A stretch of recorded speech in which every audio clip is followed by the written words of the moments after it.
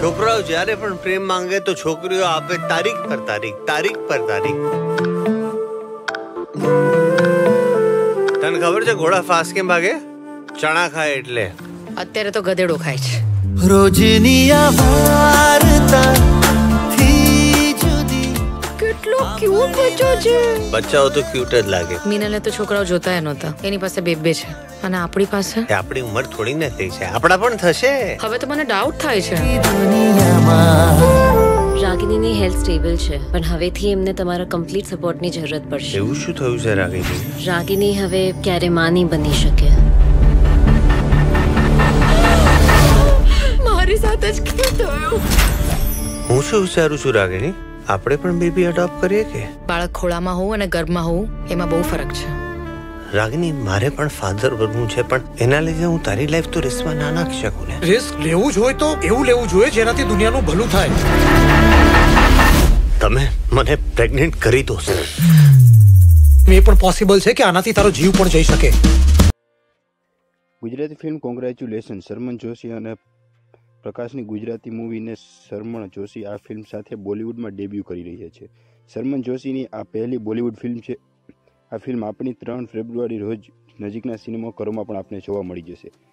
ફિલ્મની ડ્રામા પણ સિને, માનસી પારે ગોહિલ લીડ રોલમાં જોવા મળશે. જયેશ બરબાણિયા, અમી ભયાણી, અર્ચન ત્રિવેદી, સ્વામી દવે અને અન્ય કલાકારો પણ આમાં છે. કોંગ્રેચ્યુલેશન રેહાનાન ચૌધરી દ્વારા લખેલી અને નિર્દેશક કરવામાં આવેલી અને ત્રણ ફેબ્રુઆરીના સિનેમાઘરોમાં પણ જોવા મળશે. શર્મન બોલિવૂડ જાણીતા અભિનેતા પણ છે જેમને ત્રણ થ્રી ઇડિયટ્સ ગોલમાલ જેવી ફિલ્મોમાં કામ પણ કર્યું છે. તે મિશન મંગલમાં પણ જોવા મળ્યા હતો અને માર્સ એબી એર્બિટન મિશન એમ મોમમાં પણ આધારિત ફિલ્મ, જેને મંગળયાન પર કહેવામાં આવે છે. તે ભારતીય અવકાશ સંશોધન સંસ્થા અને વૈજ્ઞાનિકોની ટીમ દ્વારા હાથ ધરવામાં પણ આવેલો હતો.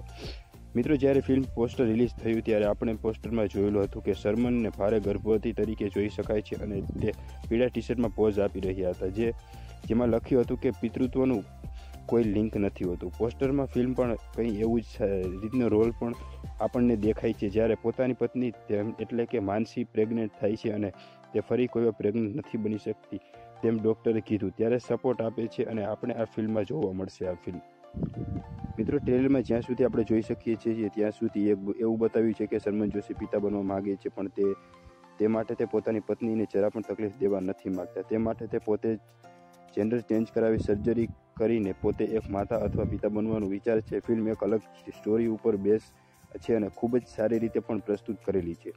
અને આ ફિલ્મ જોઈ આપણને પણ ગર્વ લેવો જોઈએ કે હવે બોલિવૂડ અભિનેતા અને બોલિવૂડ અભિનેતા પણ આપણા ગુજરાતી ફિલ્મમાં ડેબ્યુ કરે છે.